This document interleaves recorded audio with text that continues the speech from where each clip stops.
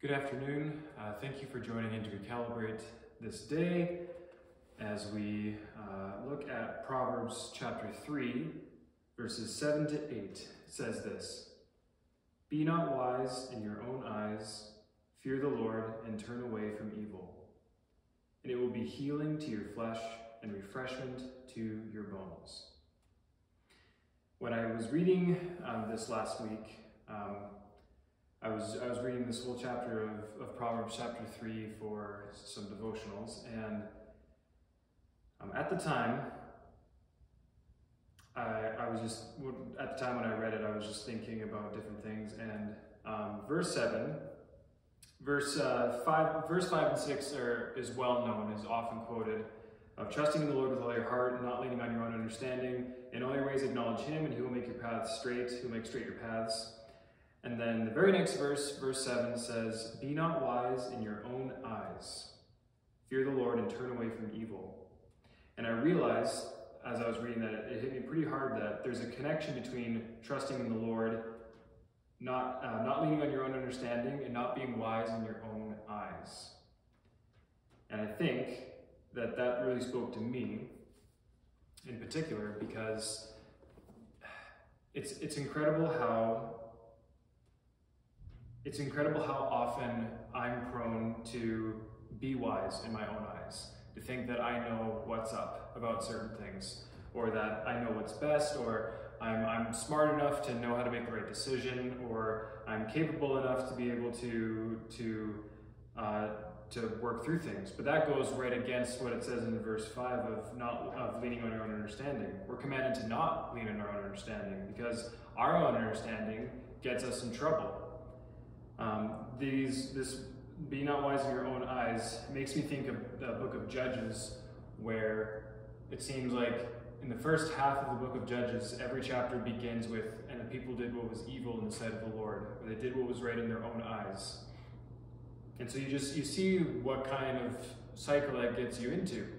When you sit down and you read the whole book of Judges, you see very clearly that what starts with doing what's evil in God's sight, what's doing right in your own eyes, leads to sin and slavery and sorrow, and then the people would cry out to God at that point. God would show compassion mercy, send someone, a judge, to deliver them, then they would be restored. And in the very next chapter, they did what was evil in their own sight. That generation came and went, and then the new generation came up, not knowing God, doing what's evil in their own sight. And it's a very, very disheartening book to read because it just seems like there's no there's no understanding. Like these people just aren't getting it. But then I have to be extremely careful because I think, well, what makes me any different? I'm prone to the same things. I'm prone to being wise in my own eyes. And so I began to break down what does being wise in my own eyes mean? And without getting too lengthy in this, this recalibrate, I think honestly, it's just recognizing that every decision that I make and every step that I take, if it's not being prayed about, if it's not being if it's not being considered in in the filter of is this going with God or against God, I think that's being wise in my own eyes, assuming that um, I know what's right and I can do it on my own. Coming to coming to the office in the morning at, at then sitting at my desk and then just immediately hitting the books and thinking of something clever to say at youth or spending the first chunk of my day in prayer, asking God for help to show me what I need to know.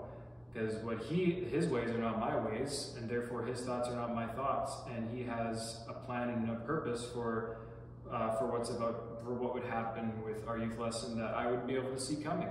And therefore I need to trust him. We can save ourselves a lot of pain by fearing the Lord and turning away from evil. We could save ourselves a lot of, of heartache and, and distress by not leaning on our own understanding. And we're told that it'll be healing to your flesh and refreshment to your bones. So at like the very core of even our, our human selves, there's rest to be found and there's there's refreshment to be found in seeking God's way and not our way.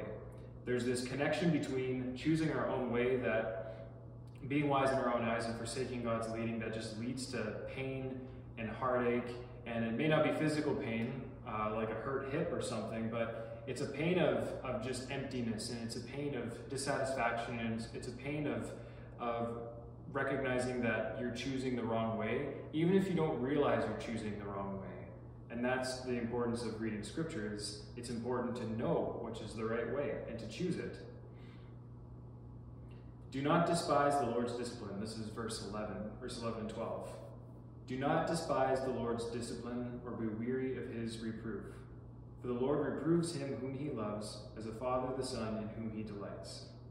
I'm very thankful that that is included um, because it inevitably answers the question that we're not going to be able to follow perfectly. it, it answers for us that no, we will not achieve the perfect walk with Christ on earth. We just won't achieve it. That's not the goal. The goal is to follow the Lord in all the ways that He leads us. And inevitably, we will mess up, we will make mistakes. And we will experience times in our life where it's painful to learn lessons. It's painful to learn the lesson of waiting. It's painful to learn the lesson of having joy in a certain circumstance. And in those pains, there's a, there's a disciplining work that God's doing in our hearts to, to break us from, from trying to be wise in our own eyes and instead to trust in the Lord with all of our heart. And we won't, we won't understand how to trust in the Lord with all our heart unless we go through situations and circumstances that God allows us to go through where that will be our only comfort. That will be our only option. And it's, a, it's, it's difficult that it often always comes to that point where we recognize we're in a difficult spot before we recognize what it's for, instead of being able to recognize it first without having to go through the pain. But then again, that's the part of, of the discipline. God is disciplining those he loves as a father, the son in whom he delights. God loves us as a father, which is miraculous.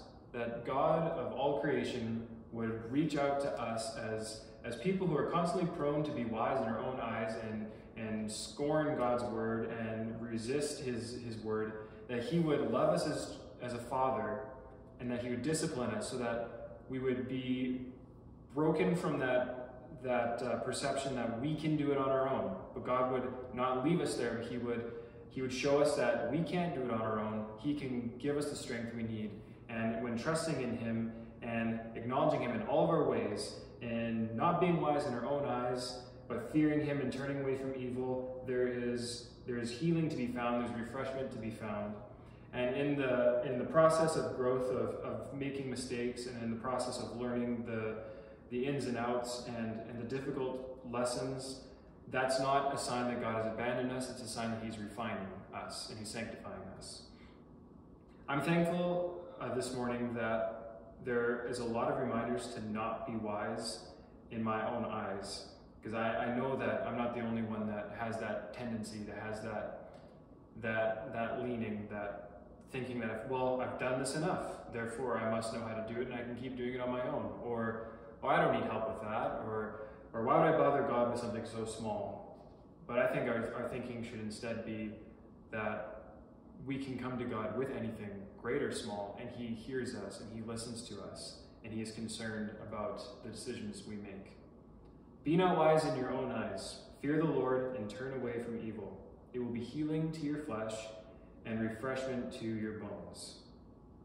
Heavenly Father, thank you so much for this truth and how perhaps we've learned it in difficult seasons of life. Perhaps we're in the midst of learning a, a lesson, or, or maybe, God, we are in a, um, a difficult place of constantly trying to be right in our own eyes and not going to you for help, not leaning on you um, for understanding, but trusting in ourselves instead of you. And it's just bringing greater hurt, greater pain, greater emptiness.